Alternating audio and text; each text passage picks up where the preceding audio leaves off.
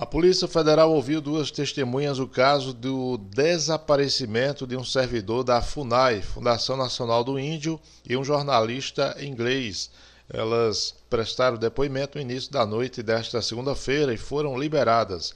O indigenista da FUNAI, Bruno Araújo, e o jornalista inglês Don Felix, eh, colaborador do jornal Guardian, desapareceu no Vale do Javari, na Amazônia, há pelo menos 24 horas. Eles estão incomunicáveis desde a tarde do domingo, dia 5.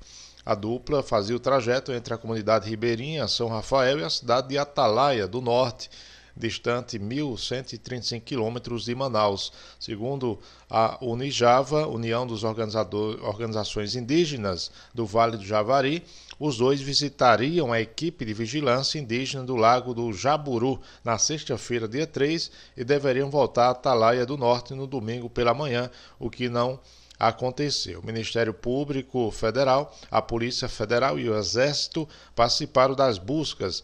Às 14 horas, saiu de Atalaia do Norte uma primeira equipe de buscas da Unijava, formada por indígenas extremamente conhecedores da região. A equipe cobriu o mesmo trecho que Bruno Pereira e o jornalista Dom Felix supostamente teriam percorrido, mas nenhum vestígio foi encontrado, informa o comunicado da Unijava. Bruno é indigenista especializado em povos indígenas isolados e conhecedor da região, onde foi coordenador regional por cinco anos. Segundo lideranças indígenas, ele estava recebendo ameaças durante a viagem.